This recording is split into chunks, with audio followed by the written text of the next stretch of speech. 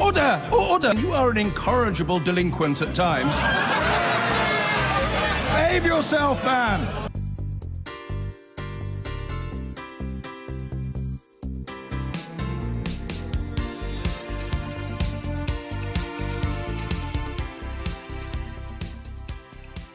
I'm delighted to be joined by the poet, rapper, activist, man of many parts, Akala, who's just got this rather brilliant book out called Race and Class in the Ruins of Empire or Natives, I think is the main title. Is that right? Is, is, is that right? There we go. Yeah. Trying to give you a pump, a, a, a, a bit of a, a, a, a promo there, but the camera was, didn't seem to be working. But nonetheless, we know what it's all. Uh, we know what it's all, uh, uh, all, all about. Bestseller, I believe, already. Yeah, on, yeah, uh, apparently so. Yeah, it came out last week.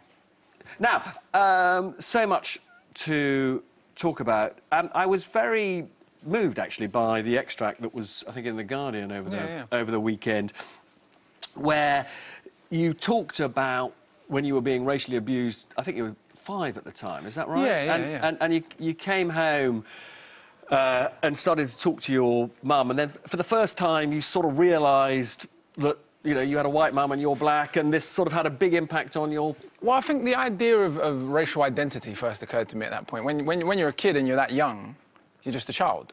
And I think what, what that one of the reasons I recount that incident in there and other incidents, you know, through growing up, getting put in a special needs class for kids who don't speak English, you know, other, you know, just Because you were a bright kid. It's absolutely extraordinary. Well, no, it isn't actually. This this is it comes back to the larger discussion of the way in which the British education system is very much stratified by class. We are not interested in turning kids in Easterhouse and Glasgow into rocket scientists, into the next Roger Penrose.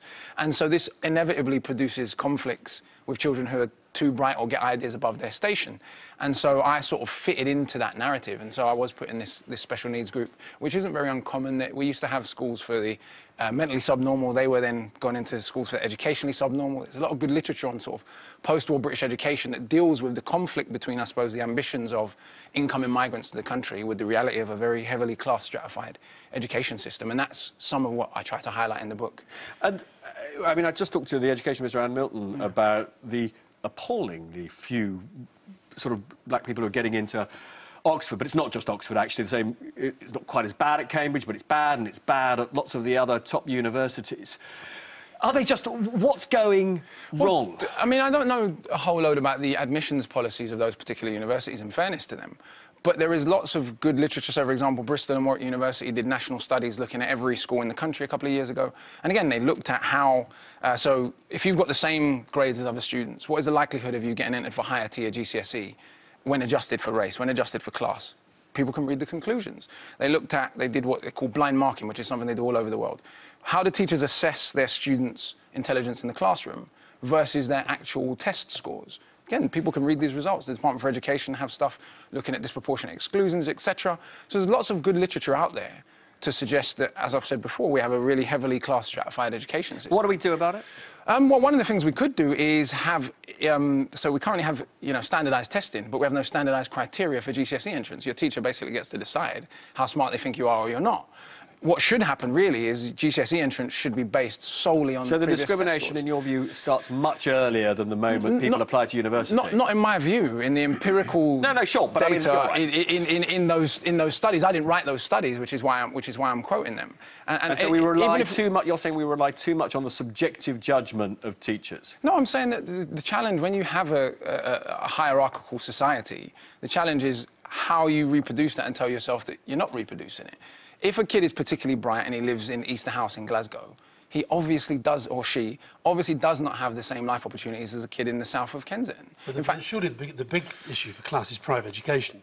Of course. Seven percent of kids go to get sent to private schools, and yet a massive amount of the top place at university and the top jobs in the establishment go to the kids from those schools, and that's where class comes from. And, and, and, and people do not spend tens of thousands of pounds a year to send their kids to Harrow or Eton to expect a kid to get the same quality of education at a state school. Obviously not, otherwise they wouldn't pay for it.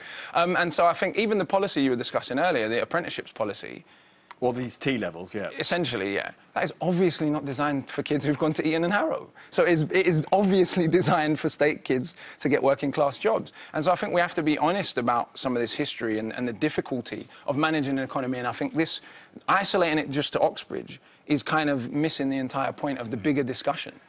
Um, uh, look, there's so much I want to talk to you about. We haven't got an enormous amount of time. Uh, You, I think, take the view that a reintroduction of stop and search for knives, because obviously knife crime Yeah. in London uh, nationally is a huge issue. You- I'm, you- I'm so glad you said nationally. London last year was the eighth most violent police Mm. district in Britain. So we may want to ask why London is being compared to New York Mm-hmm. and not to Glasgow, not to Liverpool, places Lovely that had Glasgow references today. No, I'm half Scottish, right? So it's, it's fascinating to me that as someone who's half Scottish and half black London, that I'm associated with the problems in London, but not with my Scottish cousins in Glasgow. I'm not saying intelligence targeted stop and search, when you have information, is one thing.